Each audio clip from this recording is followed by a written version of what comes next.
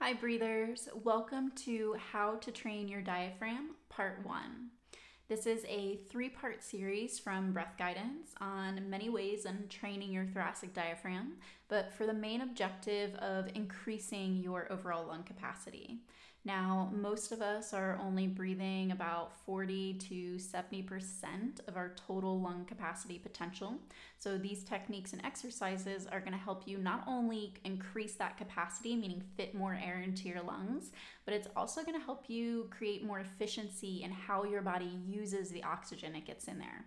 So, today's video, we're going to do strengthening through your thoracic diaphragm which is that main tendinous sheet of muscle that is the heavy lifter of breathing.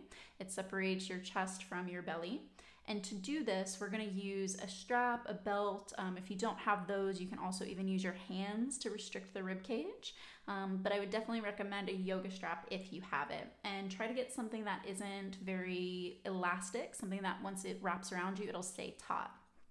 So today I'm going to be using a yoga strap and I already got it set up so I can wrap it around my rib cage. And what you're gonna do with your strap is you're gonna wrap it all the way around the rib cage and you're gonna bring it right up into your armpits. This way it comes right above the chest line and you can tighten it as tight as you possibly can. Now once I get this as tight as I possibly can, I'm gonna make it even tighter by emptying my lungs, which will shrink my rib cage and that's when I'm gonna lock it in. So you're gonna take a big breath in. You're gonna use your belly to pull the navel in, help push the air out, use the lips.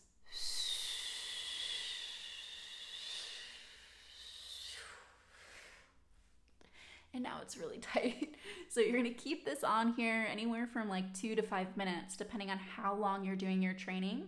And the breaths you'll be taking are big, massive in breaths and restricted, or I should say resisted exhales. So what it'll look like is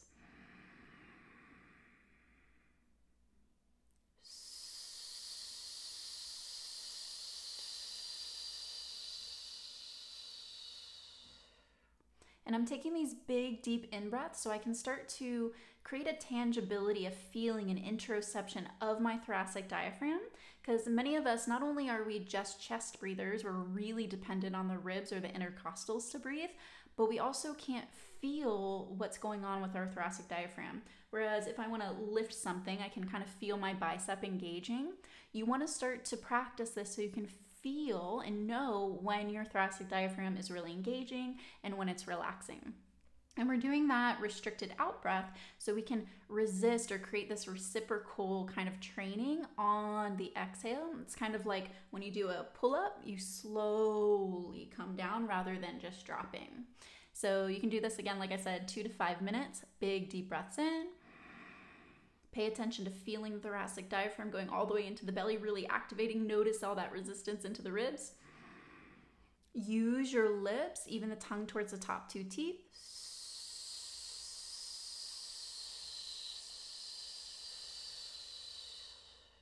And it's a serious workout for your diaphragm. This is great for strengthening it. Um, next week, we're going to go into how to create flexibility into your diaphragm. So it's not just important to strengthen the muscle, but if it's not flexible, I'm not going to get nearly as much space or strength if it was really tight. Uh, yeah, so if you're not a breather already, you should totally be one. Go to breathguidance.com, pop in your email address, and you'll get breath bonuses and videos and audios just like this every single Monday to your inbox. I'm Dani Mae, and it's a pleasure to share these with you, and I look forward to seeing you soon. Bye.